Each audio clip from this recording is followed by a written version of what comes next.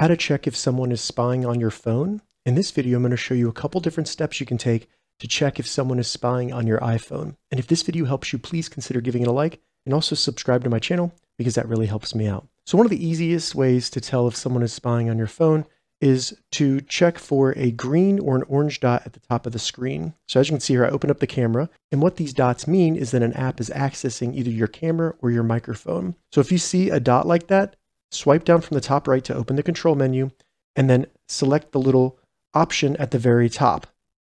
This will bring up a privacy menu where then you can see which app is accessing your camera, your microphone, or your location. So as you can see, that was the camera that was accessing my camera or microphone. That's okay. But if you see an app that you don't recognize that's accessing those items, I recommend uninstalling that app, especially if you did not install it. And just to show you how to uninstall apps, all you need to do is swipe from right to left until you get to the app library. Then find the app you want to uninstall, long press it, and then select delete app, and then confirm you want to remove that app. So the next thing you can do to check if someone is spying on your phone is to first open up the settings.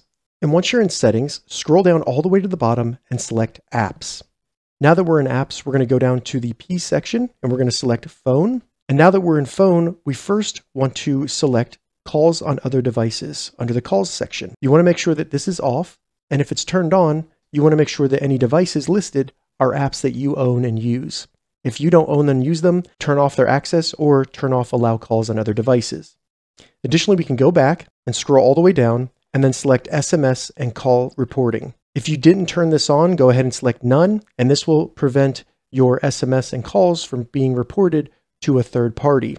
Usually this is used to detect spam. So if it's turned on, make sure that that is a call filter that you're using for spam detection. But if you didn't turn that on, go ahead and select none, and that'll prevent any possibility of someone spying through that method. Now we can go back to the list of apps here, and we want to just go up to the M section and select messages. So now that we're in messages, scroll down and select text message forwarding. And if this is turned on for any device, again, you just want to make sure that that's the device that you own and use. If it's a device that you have never used before, turn that off because that could be a method used to spy on your text messages. So now just go back to the main page of the settings. And once you're there, scroll down a little bit until you get to privacy and security. Select that. Now that we're in privacy and security, I would recommend scrolling down and then select safety check. Go ahead and select manage sharing and access and go through the safety check process. That'll make sure that you're not sharing your location or any of your information with someone that you did not intend to share with. Once you've gone through that, go back. And once you get back, just scroll up a little bit until this section right here where we see microphone and camera. And what I recommend doing is going through these. So select camera and just see which apps have access to your camera. If it's an app that you don't think needs access to your camera, go ahead and toggle it off. If they don't need it, you don't need to give it to them.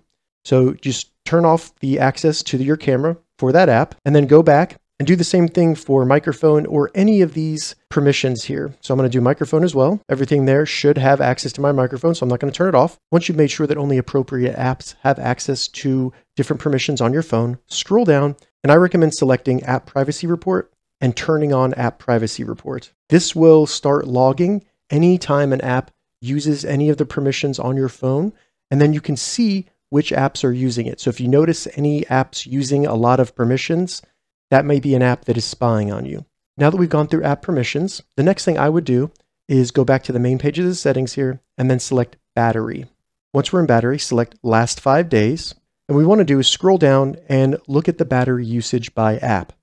Now, a lot of these apps are apps that I actually use, but if you see any apps using a lot of your battery life and you don't recognize that app or you never use it, that may be a sign that that app is spying on you. So go through this list, and if you see any apps that look weird, you can either uninstall them or revoke their permissions using the steps I showed you earlier. All right, finally, the last thing I would recommend doing to see if anybody is spying on your iPhone is to first go back to the main page of the settings here, then select the first option where you see Apple account and iCloud. Once you get inside your Apple account, scroll all the way down, and you just want to see if there are any devices on here that you don't recognize. If you see any devices that you don't recognize or shouldn't have access to your Apple account, go ahead and select them and just select remove from account confirm you want to remove it, and then that device will no longer show up in the list of devices that have access to your account. All right, so those were some simple steps that hopefully help you check if someone is spying on your phone. If this video helped you, give it a thumbs up and please consider subscribing to my channel. Thank you so much for watching.